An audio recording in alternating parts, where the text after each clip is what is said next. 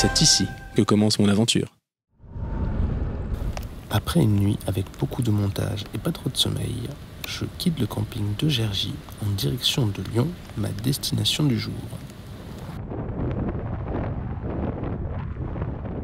Pendant que les images défilent, je vais vous parler un petit peu de pourquoi j'ai choisi la station des Petits Princes pour mon Tour de France.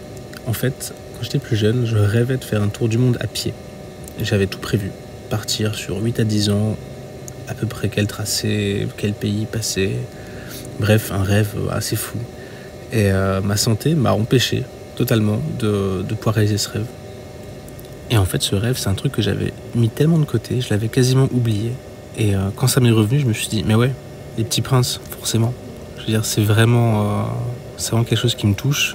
Moi, c'est un rêve d'enfant que j'ai pas pu réaliser. Mon Tour de France, c'est l'équivalent acceptable que je peux faire avec ma maladie.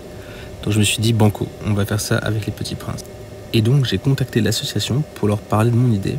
Et ils ont été totalement séduits par l'idée de faire un Tour de France caritatif pour les petits princes. et c'est comme ça que j'ai pu avancer dans le projet avec leur accord j'ai eu la chance, après le confinement, de passer dans les locaux de l'association à Paris, où j'ai pu vraiment sentir l'énergie et l'implication des gens euh, de l'association. C'était vraiment, quand on était au milieu de ces murs, euh, on sentait toute l'énergie pour ces enfants. Donc il y avait des dessins accrochés au mur et des souvenirs un peu partout.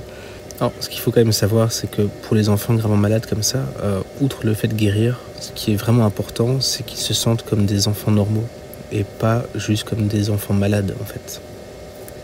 Et pendant que l'enfant réalise son rêve, en fait, cette journée, il est juste un enfant normal. On ne parle pas de sa maladie. Il est juste là en train de profiter et de faire quelque chose qu'il aime, qu'il a toujours rêvé de faire.